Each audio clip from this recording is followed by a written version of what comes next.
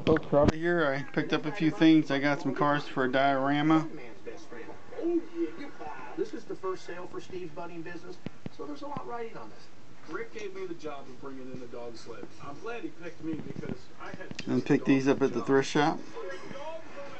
That this reminded me of I don't know if you remember a program called Speed Racer. He kind of looked at There was a guy named Racer X. This kind of reminded me of his car. How John came in with Hot Wheels had a speed race looking car called Second Wind.